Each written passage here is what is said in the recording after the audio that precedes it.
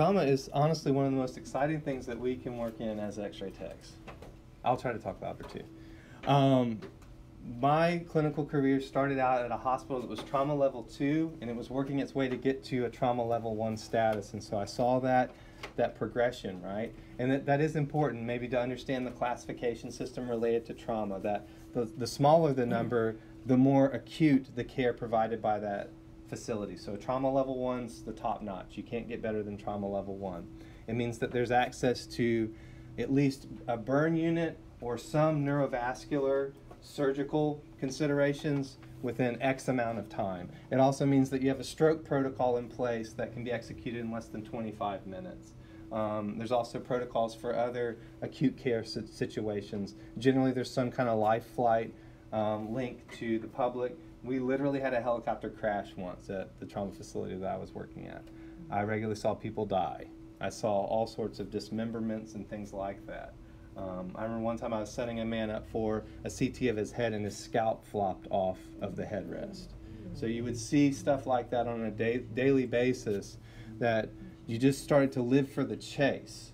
It wasn't the gore or anything like that. It was the opportunity to maybe intervene in this person's life in a really meaningful way. And the opportunity sometimes to do the follow up examination, to go up to the floor and do the post op sur uh, surgery uh, x rays or to see the patient again and, and be like, man, you're, you're alive. 24 hours out, you're still alive. You're going to make it. Um, was really, really rewarding, right? So that's what we're talking about today. It is one of the most exciting things that, that we've got. But I've broken it up to very, very simple kind of things here. We're going to review the key considerations of traumatic death. So we'll talk about what, are, what informs our understanding of trauma as x-ray techs and part of the healthcare team. Um, we'll talk about the occurrence, signs, symptoms, diagnosis, and treatment of trauma to include the following areas of the body. The head and the vertebral, vertebral column, skeleton, and the abdomen. The abdomen is going to be the lightest piece, right? The head and the vertebral column and the, the skeleton is going to be where we're going to spend most of our time. Um, and then we're going to dis discuss radiographic techniques. I've pretty much culled all this information just down to x-ray. I'm not going to talk very much about CT. I'm not going to talk very much about other modalities. I'm just going to talk about x-ray because there's plenty enough just to say about trauma x-ray. And we are frontline. When the, when the code comes, there is an expectation in a trauma level one hospital that the x-ray tech is there with the team to respond to whatever's coming through the door. So traumatic disease is most common in individuals who are young, right? And it's also more common in males because we've got this problem called testosterone that makes us do stupid stuff, especially when we're 20 something, right? Um, there's a trimodal distribution. We'll talk about what that looks like. That means that survival rates have these kind of funny um, fluctuations over time. Um, there's a need to work with EMS, with fire department, with police, with people outside the hospital in order to fully integrate care. You're going to receive parts of information. You may be wind up doing parts of the history. You might wind up doing chest compressions. You might wind up restraining patients. I've had to wrestle people to the ground, right, as a trauma x-ray tech.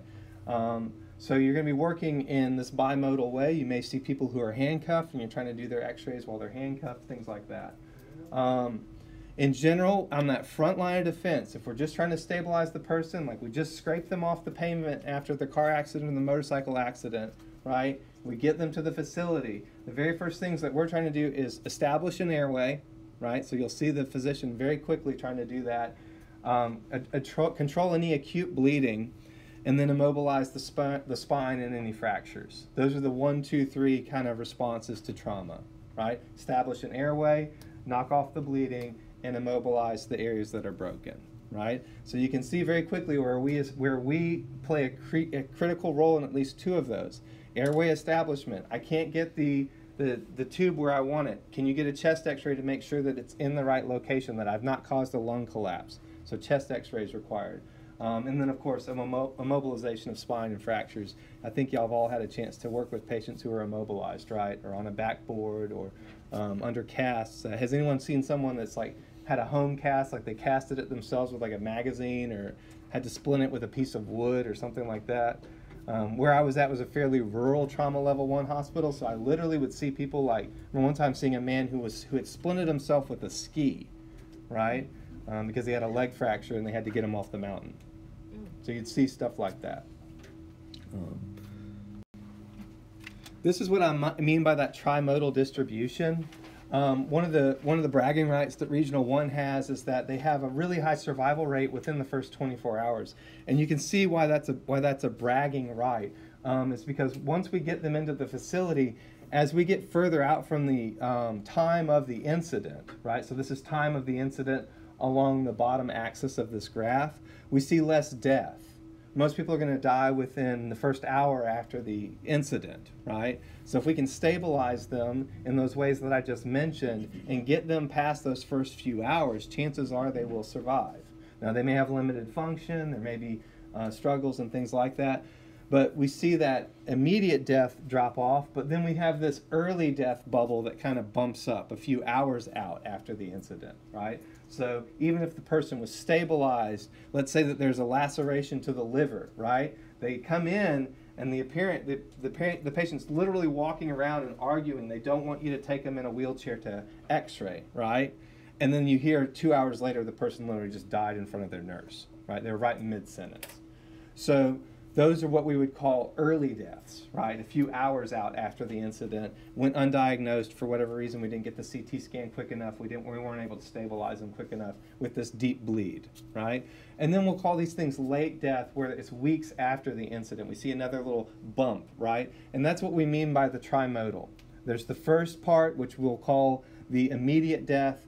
The second little bump we'll call early death, and the later bump that comes weeks out, late death right? Those are things where we haven't we have not been able to stabilize the patient. They're in a coma um, and uh, unresponsive, and then uh, for whatever reason, there's an additional event that causes the, the, the death. So I, I, mentioned that I'm not really going to talk that much about uh, CT, um, but I, I, I, don't want y'all to get the impression that CT isn't a critical part of trauma because that'd be completely false. CT is kind of pretty much everything trauma now. So almost all ERs that I've ever worked at have like a dedicated ER CT machine now. That was crazy back in the day. I mean, we didn't have that. The facility that I first started working at, as they moved from from trauma level one or from trauma two to trauma level one, that was a significant hurdle that we had was just the transport time to and from CT. So we had to figure out ways to fi- to fix that. Um, but one of the first things, so I'll say these these two things about CT and trauma, and then just know that that trauma is really important. If you wind up in CT, chances are you you could work in some kind of trauma facility. It is very rewarding. It's very stressful too, right? It's very stressful too. But the two things that are important to consider CT's application to trauma is number one, the American College of Radiology's appropriateness criteria. That means, is this the right exam for what we're looking for? Because in a traumatic situation, everyone's stressed out. You've got these generated automatic um, ordering softwares that are just like, for lack of a better word, barfing up orders. Like, so we get the trauma code MVC coming in in five minutes. They put in um, trauma code MVC and it just coughs up a slew of CT exams, right? Like six CT exams that need to be done just because they inputted that in the computer. So now I've got to go as a CT tech and weed out what does this person really need, right? Do I need to be doing a head CT? Chances are yes. Do I need a spine as well? Well, it looks like the mode of injury didn't require any kind of spinal evaluation. We'll just do it with X-ray, right? But we definitely need a chest, abdomen, pelvis, right? So you you wind up playing detective quite a bit, working with the appropriateness criteria, the ordering physician, the ordering nurse, and figuring out okay what's going to be the best possible way to image what we need to image, but then spare the patient dose. It's especially important if we're dealing with a younger patient.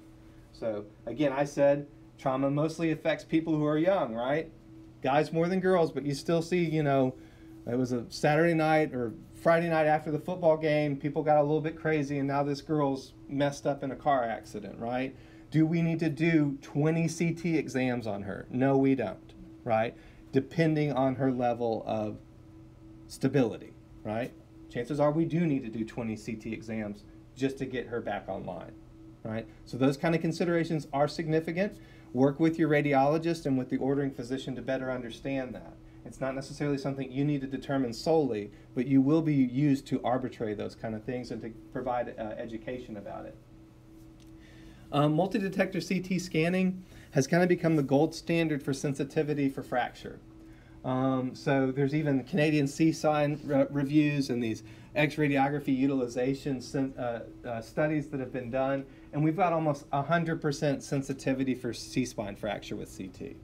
So you can see that, plus the fact that we don't have to move the patient, we can just put them on the on the machine, on the backboard, scan them, and we're done. Um, plus, we've got the possibility for 3D reconstructions for surgical planning if necessary. Um, really won the day for CT.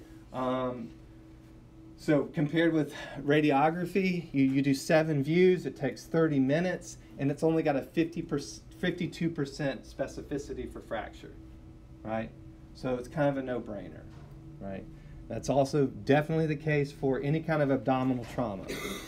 Um, X-ray is really has very little um, sensitivity for abdominal trauma unless it's kind of in a fairly late stage of uh, disease. All right, vertebral column injuries. Um, it's important that we immobilize the head and the neck and that we work with the patient as they are immobilized and that we communicate with the patient about the seriousness of being immobilized, right? Because some of these people are ETOH or they're combative, they've got a head injury, and they're acting crazy, plus I'm trying to get your x rays done, right?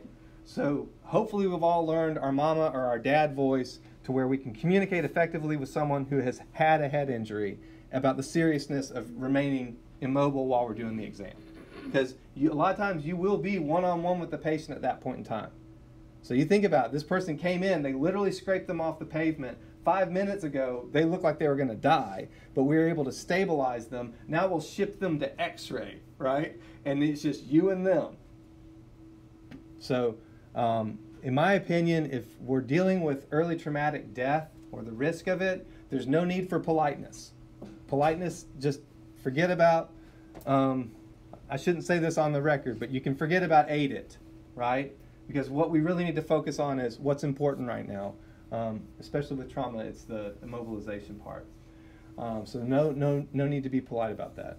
Um, there is direct trauma that can occur to the spine, but since the spine is also flexible, we can have these kind of weird whiplash injuries that occur as well, as well as compression fractures that can impair neurological function. So I can't stress that enough. Person might not be drunk at all, but they might start acting weird. So as you're talking to them, maintain a regular conversation with them. Ask them goofy questions like, do you know who won the Republican primaries or whatever? You know, see if they're up to date, if they remember recent events, you know maybe not the Republican primaries, but but something that you know is in popular knowledge, right? Who's the president right now? Um, and maintain that kind of conversation with them. Like, how about those Yankees? Like, those soft skills are important because you're assessing their response time. They're they're having a delayed response, right? I remember the first time I ever had a patient die on me in CT. That was what gave it away. I've been talking to them the whole time, and all of a sudden they went quiet, right? And I knew then that things had gotten really bad. I got them off my table and got them over to the ER as quick as I could. It wasn't quick enough. But it was because I was communicating with them that I was at least able to respond that much more quickly. Um, so don't discount someone if they say, "Oh, this is hurting in my arm," or "This is whatever." Make sure that you take their concerns seriously. If they're struggling with pain and they're trying to communicate with you, they're not just saying stuff just to say stuff. Um, and then there's stable versus unstable injuries. So it's something to really press upon patients if there's any kind of trauma status that they need to be immobilized. Let me commu- let me transport you on the gurney. Don't try to get up. Don't we don't need to be walking around because they might have a fairly stable injury, right? But then we stand up and all of a sudden the patient's on the floor.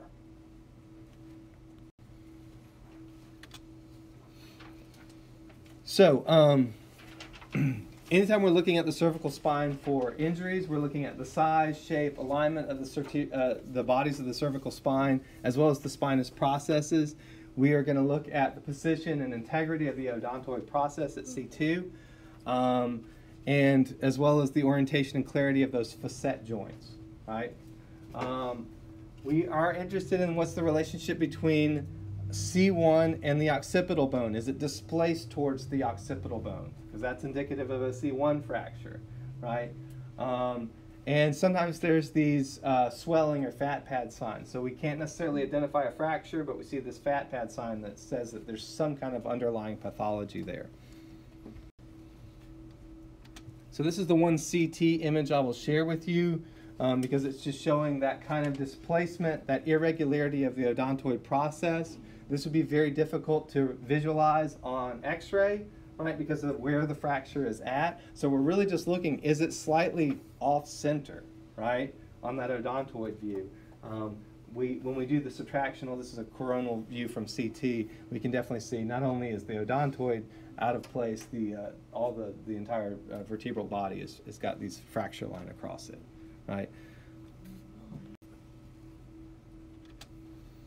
Um, here's a hangman fracture, so related to some kind of strangulation injury or something like that. Um, and so the injury here that we're looking at, if I can point it out to y'all, is this line here, very subtle line right here, right? Um, where that actual, uh, because of the force of person falling and being caught in some way by their head, it caused that vertebra to snap.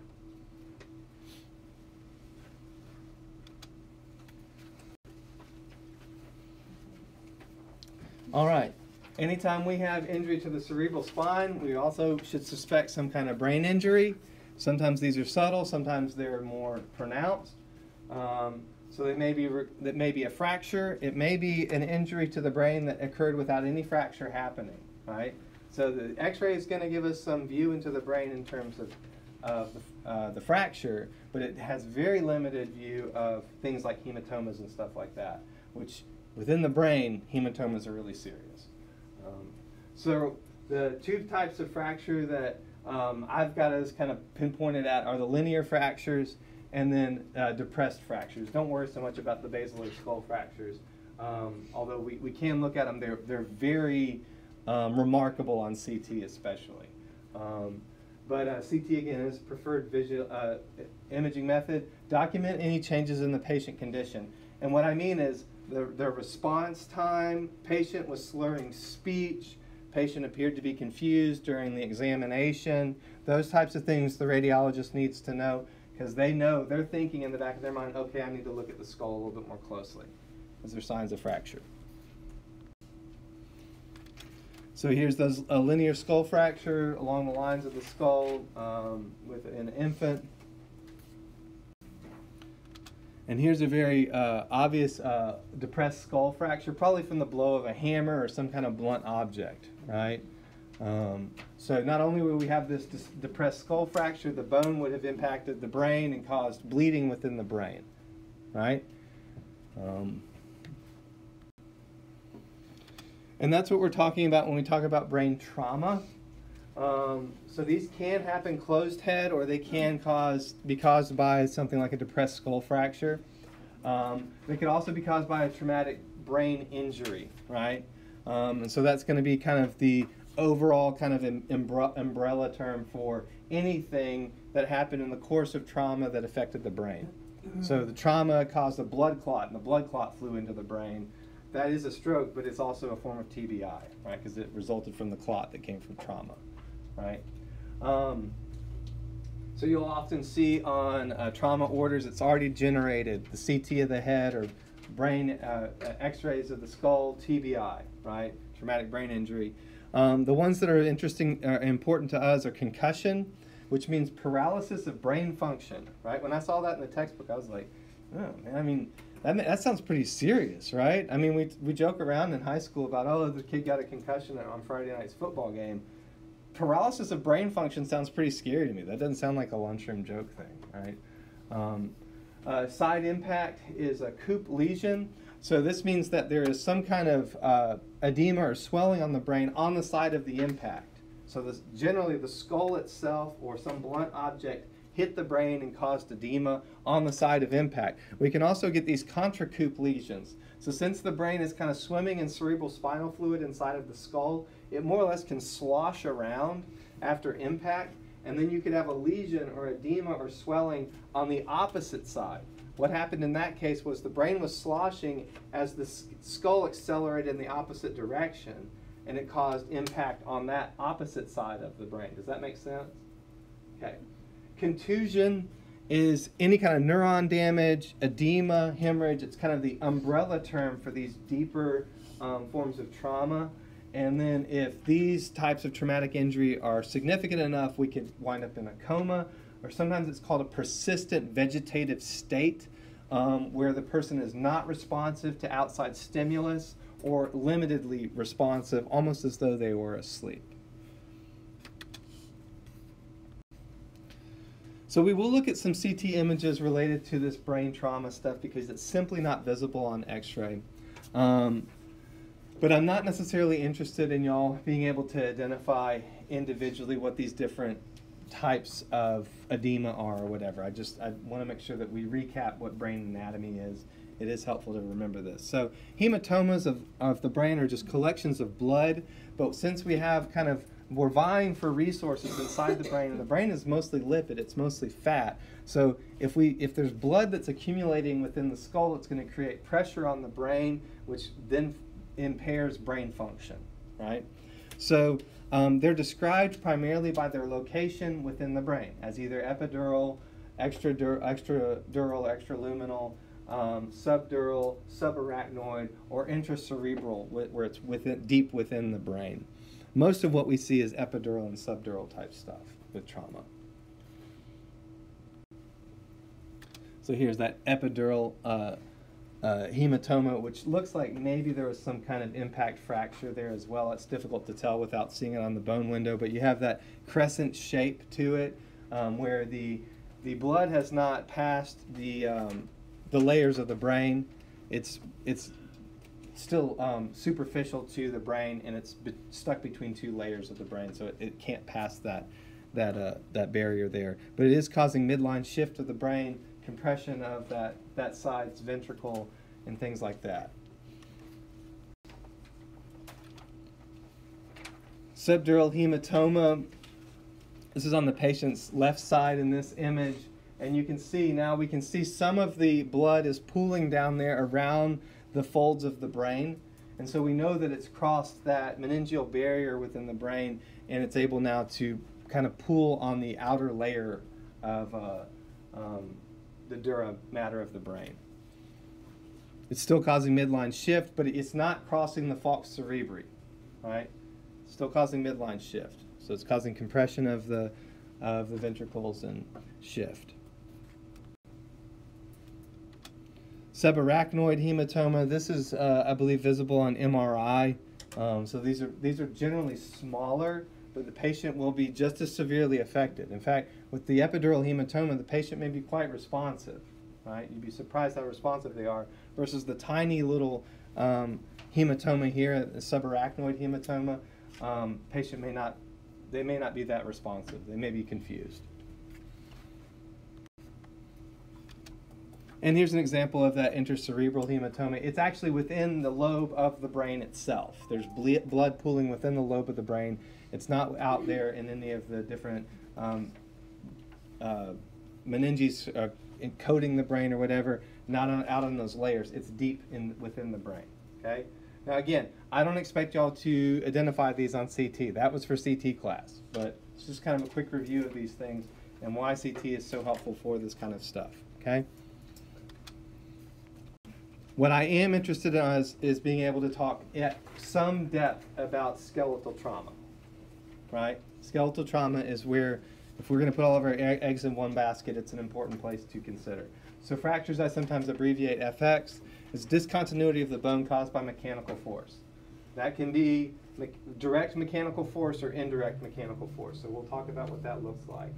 Um, if we have delayed union, it means the fracture is not healing for a variety of different reasons. Like maybe the patient's continuing to walk around or something on a, um, on a fracture or something like that. Malunion means it's healed in a bad position. Non-union means uh, fragments are not joined at all.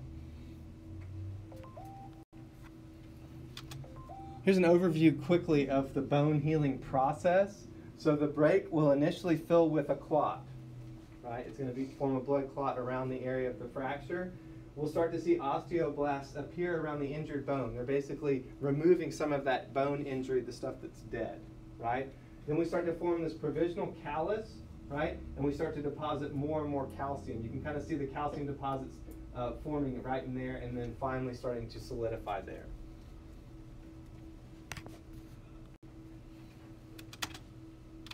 So here's what that callus formation looks like on a poorly set bone, right?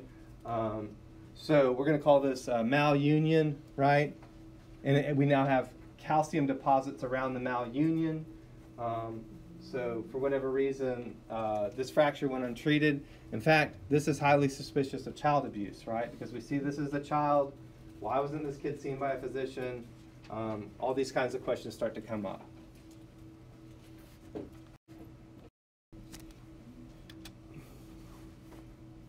Okay. This one definitely is, is clearly non-union, right? So right in here, this stuff did not unify, right? I like this picture, it's pretty clear. Um, so it's not as apparent, right, on the x-ray image, right? I can't necessarily see that stuff is not connecting. It, it looks like there's some air bubbles or something here. That, that looks funny, but I'm not a radiologist, but that is something even the janitor can look at and say, yeah, those things are supposed to be connected and they're not. Okay. Fracture classifications. Open fracture means the bone breaks the skin. Has anyone had an opportunity to see one of those? Yes. Pretty visceral. I've actually seen one of them happen as it happened. It was intense. Um, you can literally hear it. It sounds like someone just hit a baseball out of the park. Closed fracture means it still broke, but it didn't break the skin, right? Sometimes they're called simple fractures, right, for whatever reason. Um, Impact fracture is when the bone is jammed up into other things, right? So you see these in rapid deceleration. They're really common in femurs and car accidents and stuff like that, where the bone is just kind of pile drived into other parts of the bone. Further discussion of fracture classifications include the comminuted fracture. This is different from multiple fracture, right? Comminuted fracture means that there's one major fracture line and then there's other smaller fracture lines coming off of that one major fracture line, right? Um, we can have what's called complete or non-comminuted fractures. In this case, the bone is separated into two fragments, two clear fragments, right? And those have a number of different names. They could be a spiral um, or oblique fracture, where the bone is literally twisted apart. Um, but there's two fracture, there's two fragments that are remaining, not multiple fragments that are remaining traverse, where it's basically just gone across the bone, straight across the bone, um, or pathologic in nature, which means that there was something that weakened the bone already and caused the fracture to occur. So here's just a, a, illustration showing us those different fractures. For the visual learners out there, it kind of shows us uh, the, the, ones that, that I meant. This illustration shows more than I've talked about in the, uh, the previous slide. Just focus on the ones that I've talked about um, on those slides, uh, and you should be fine. Um, the one that is interesting, I think, from this illustration is the occult fracture. No fracture is apparent. That's what occult means. You can't see a fracture. It's not radiographically apparent. Avulsion fractures, the bone fragment is pulled away from the shaft, right? So um, a portion of the bone is just separated off from the shaft, the main shaft of the bone. Incomplete fractures, the, the most famous one of these is the green stick fracture, and we see this quite a bit with youth. And the, the it's literally think about it like this: like you had a you're out in the woods and you find a green stick and you bend the stick, right? A, soft piece of wood. You bend the stick, it will break along the one side on the outside. It will not break along the inside, right? Um, so one part of the cortex breaks, but the other remains intact. Um, a torus or buckle fracture means that it's a green stick with a bulging cortex. In this case, a lot of times it's a twisting motion that caused the breaking. So same thing, pick up a, a, a stick while it's still green, twist it until it starts to break, and you start to see that almost like a frayed rope appearance, right? In children, this is particularly indicative of child abuse, right? Because of that twisting motion. They say the kid fell down the steps, but what I'm seeing is a fracture that caused caused by twisting motion. Like you were twisting the kid's arm at the grocery store or something, right? So um, these fractures kind of tell a story. Um, growth plate fractures. This is at the end of a long bone in a child, and we use a Salter Harris classification where one is the least serious and a six, Salter Harris, is the most severe, where you've got total separation of the growth plate from the bone. It can be quite serious to try to repair that. Um, a stress fracture means that we've had an abnormal degree of repetitive trauma. I run, I'm training for the St. Jude Marathon, and a lot of runners experience this. It's, it means they needed to change out their running shoes or something with the way that they're running has that repeated trauma of running has caused a fracture. I actually was talking to a runner just last night. It was over at my house that had a boot on for just that reason. Fatigue fractures are more the opposite. You have someone who's not necessarily an athlete and they go out and they decide to go cross country skiing or something. They stretch themselves a little bit too far, and we have this maximum strain in connection with unaccustomed activity, right? Um, yeah. And then, like I said, occult fractures means uh, occult just means hidden, and it means the clinical signs um, are there, but there's no radiographic evidence. I can't see it on the X-ray.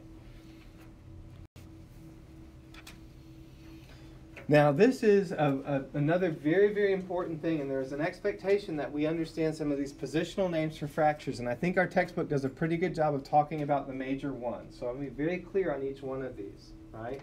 A Colles' fracture is a fracture of the distal inch of the radius, right? But it's going to be angled back along the shaft, right? So impact injury, right, causes a fracture of the radius, and for whatever reason, the bone fragment went back along the shaft. Right, we'll call that a Colles' fracture. There will be a dinner fork uh, uh, kind of abnormality apparent on the skin. You can literally see this person. Um, like I remember the first time I ever saw, it was apparent before I even did the X-ray. The, the, when I walked into the room, the ER physician said that's a classic sign of a Colles' fracture. And I now know what he means. He's talking about that dinner fork deformity, where it looks like there's three prongs underneath the skin, angled back up the bone. Does that make sense? The Smith fracture is the absolute opposite of a Colles' fracture. We have that fracture of the distal end of the radius, only it's been displaced towards the surface of the hand, right? So the displacement occurred in this direction. And the mechanism of injury is different. Boxer fracture is a fracture of the fifth metacarpal, right? Happens in bar fights. That's where it got its name from, right? Um, in fact, almost every boxer fracture I've seen has been someone in a bar fight, but I think it was just the facility I was working at. Um, there's other ways to do it, so don't just assume everyone's in bar fights. Although people should fight in bars more often, right? I mean, that would make life more interesting. Um, a Bennett fracture is a fracture and dislocation of the first metacarpal joint. Fracture and dislocation of the first metacarpal joint, right? Um, uh, Monteggia fracture. I'm going to say it's pronounced Monteggia fracture. This was a new one to me, right? But it's a fracture of the pro proximal ulna um, with anterior dislocation of the radial head. And I'll tell you this, this one just looks jacked up, right? So I think it's in our textbook. I think I've got an image on here. Um, but if you can imagine, the ulna's been broken so bad that it's caused dislocation of the radial head. So, Reverend Monteggia was, he had a weird sense of humor if he liked putting his name on that. Um, a Pott fracture is an ankle fracture that involves both the malleoli and joint dislocation. They look jacked up too. Once you've seen a Pott fracture, you'll never forget it. It requires quite a bit of surgical reconstruction. And the Maisonneuve fracture is a severe ankle sprain and a fracture of the proximal tibia. Sorry, fibula, fibula, the smaller bone. Right, I apologize. So the ankle has not fractured, but it caused enough stress on the tibia that the tibia fractured up closer to the knee. So if you see severe ankle sprains, what this is telling us x-ray text, person says, I really sprained my ankle. Which way did you sprain it? It rolled inward. Okay, maybe I need to talk to the physician about getting knee x-rays as well, right? Or a tib fib. Because if I'm just doing the ankle, I'm not going to see this proximal fibulal fracture. Does that make sense? We'll look at it here in a sec. So here's the Colles' fracture. You can see that, um, and you can also get fractures on the uh, on the ulna as well with this. But that radial head has been displaced backwards along the shaft, right? So about 30% of them, I think, you also get a related ulnar fracture. Okay, Colles fracture. Boxer's fracture, right? Fracture at the fifth metacarpal, generally about mid shaft. Comes from punching people wrong. Learn how to punch better is what you should tell those people. Here's the uh, Monteggia fracture. Like I said, it looks bad. I would not want that, and I wouldn't want my name on it either, right? Um, yeah. Enough said. But like I, but but just to point out again, we're talking about um, the proximal portion of the ulna causing proximal dislocation of the radius. The radial head is no longer connected to the humerus. This would be very painful if you haven't figured it out. And you could also cause compartment syndrome. Pott fracture, right? So like I said, extensive surgical repair.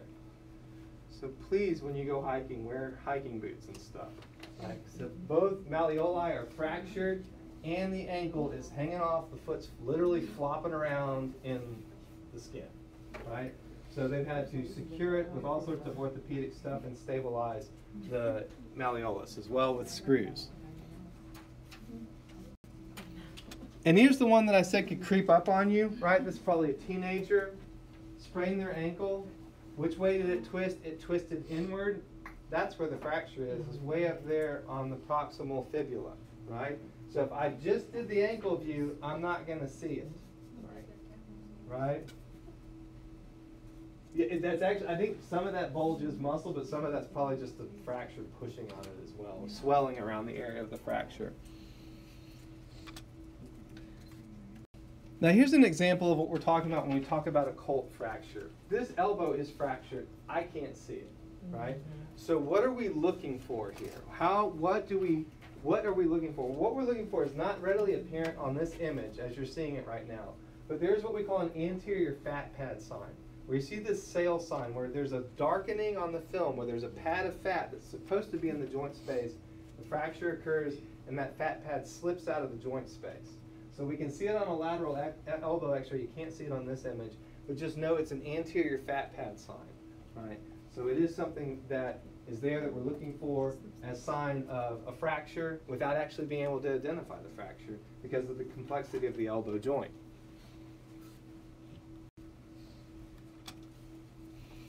Viscerocranial fractures. These are usually caused by a direct blow. Someone gets hit in the head in a, with a hammer, right? or hit in the side of the face with a hammer. Um, zygomatic arch is a common place of fracture. So the one guy's got a boxer fracture, the other guy's got a big black eye with a zygomatic arch, arch fracture, right? Um, depressed fracture, or it can be tripod in shape, which means it's pushed its way even further in. Um, mandibular fracture, there's normally some kind of ring syndrome where there, there's a, you can see the snap on one side, and as you kind of follow the snap around, it's causing pain throughout the entire jaw, right? Um, and then maxillar fractures, sometimes called Le Fort fractures, are classified based on their de degree of severity. So here's an example of depressed fracture of the zygoma. And for whatever reason, the tech decided to put their marker right on top of it.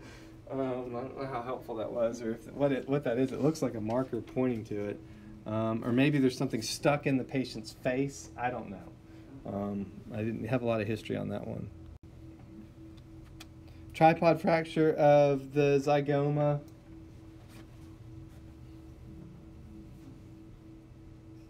I'm not seeing it. I think it's the wrong picture. I think that's actually the Le Fort fracture for the maxilla. Yeah, I'm pretty sure that's a Le Fort fracture right there, and this is all filled with fluid or something. So ignore that image, I'm sorry. Mislabeled. Mandibular fracture, again, difficult to see on this image, but there's a line right here that basically just shouldn't be there. oh, and a related fracture over on this side. Right? So that's what we're talking about when we talk about ring like you snapped one side and the other other side broke as well. Yeah, like you got hit here, broke this, but also snapped that over there. Um, here's another image of port fracture in 3D reconstruction. And this is a pretty extensive one, right? Um, so we got fractures all through this area. It's even fractures the jaw. This person's all sorts of tore up. Visceral uh, cranial fractures. This means deep to the area. Um, and the two that we're going to talk about are just blowout fractures. So this means person got somehow hit directly in the eye, and the force on the um, optic ca- uh, cavity caused a blowout fracture of the rear wall of the optic cavity. So the rear wall was not directly impacted; it was directly impa- indirectly impacted by the eye. So we'll call that a blowout fracture, where the energy is transferred to the orbital wall and the floor. Um, or nasal bone fracture. These are pretty common fracture right there. Um, may require cosmetic uh, reconstruction. Dislocations um, are generally lots of fun because if it's a shoulder dislocation, you can put it back in and the patient feels like a million bucks, right? But there's some dislocations that are much more severe. Um, so it's important to be uh, familiar with those terms. Dislocation, luxation are synonymous. Subluxation means uh, partial dislocation. Um, with shoulder dislocations, we're interested is it ant or is it post? So we do the, the AP view of the shoulder and then some kind of side view, whether it's a Y view or um, some other uh, type of lateral view to determine whether it's uh, posterior, anterior, where the, uh, the humeral head went. Um, and it may be helpful to do that uh, West Point method in order, in order to view the, uh, that Hill-Sachs deformity related to dislocation as well. Y'all, y'all remember the West Point stuff for shoulders? Go back in Merrill's and look at it. We were just looking at it with the juniors recently. Um, okay. Hip dislocations can occur. A lot of times they are related to other previous uh, exi- uh, previous existing problems. So that's what we'll look at here sec- uh, next. And then acromioclavicular AC tears. So we have um, tear in the ligaments, which causes a dislocation of the acromion from the uh, from the clavicle, the acromion process of the scapula from the clavicle. I actually have an AC tear on this side and broken clavicle on this side. So pretty common areas of fracture. Um, neither one of them hurt terribly. Dislocation of the hip. I don't know. This just looks painful to me. You can see the hip's definitely not where it's supposed to be. Like I said, if we're doing this kind of thing in general, um, there's some other pre-existing condition that contributed to this. So we see it with, for example, cerebral palsy, where individuals already have a great degree of internal rotation of, of their femurs, so they call it the femoral anteversion, where they, they walk like this, and there's already stress there on that joint. Some additional thing causes the dislocation, right? Dislocated knee. I have no clue how this happened, um, but yes, you can dislocate your knee. It sounds terrible. I mean, I, I've never seen a dislocated knee in my life, so when I saw this image, I, I kind of jumped on it. It looks like it's probably secondary to the surgery, so who knows? Maybe this was Dr. Death. I don't know, um, but uh, the uh,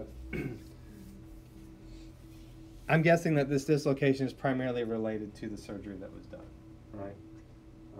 Because that, that's it, mostly what we see is like uh, tear, ligamental tears and things like that, or just fractures at the level of the knee. Subluxation. So you can see on that uh, third digit subluxation where um, it's dislocated partially, right? It don't look like fun, but frankly, they probably could have put it back on themselves, right? They just manned up a little bit.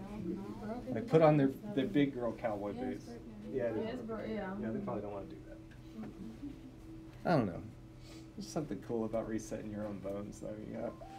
You're such a, but now. it's like the best part of all those X Men movies is when Wolverine comes back and All right.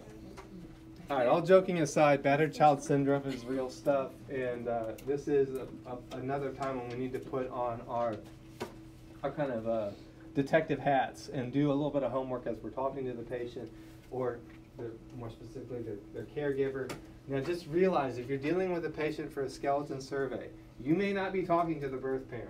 It may be the foster parent or someone else, the DCS worker, someone who's there with you. So don't get all weird and coy with them, thinking that they did this to the child. They may not have. The child may already be in state custody, and you're working with the foster parent or something like that.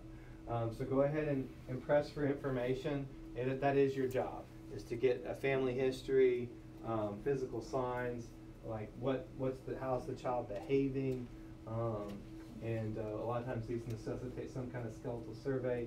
Um, shaken baby syndrome, we're talking about uh, problems within the spine or within the areas of the rib cage, posterior rib fractures in particular, are highly in, indicative of abuse, right? Because you don't break your ribs on the front you, or in the back, you break them on the side, right? And kids don't break their ribs, period, because they're made like basketballs. All their bones are like rubber, right?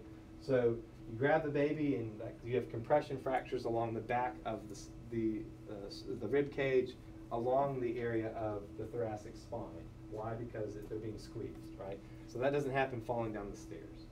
So get a good history, ask them what's happening, um, and it is required to report suspected cases. I want to emphasize that Tennessee state law says that anyone with knowledge of abuse is required by the state to report it. It does not say any doctor with knowledge of it. It doesn't say any nurse with knowledge of it. It says anyone with knowledge of suspected abuse is required by the state to report it. So if you're practicing in, the, in, in Tennessee, state law says that it's required for you to report it. I would suggest that um, communicate with your physician, the ordering physician, or the radiologist. Hey, here's the family history. Here's um, the x-ray. I think this is highly suspicious. What do you think? And initiate the conversation that way, right? But if you feel like they're going to cover it up or they're not going to say anything, you know, proceed as you think is ethically fit. Avascular necrosis means that we have bone death because there's not blood supply. That's what the avascular means. Bone death without blood supply. Um, this is typically going to happen in these bigger uh, joints like the hip, the knee, the shoulder, um, sometimes with the scaphoid bone. Um, MRI is going to be our uh, modality of choice. This can be caused by disease. That's what idiopathic means or idiopathic means, or it can be post-traumatic. So there's some kind of trauma that's causing redu reduction in blood supply.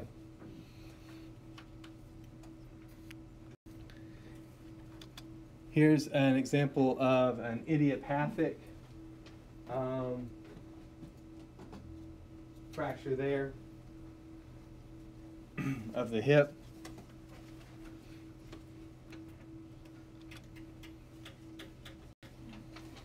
Trauma of the chest and thorax. About 25% of all trauma deaths um, occur from chest injuries.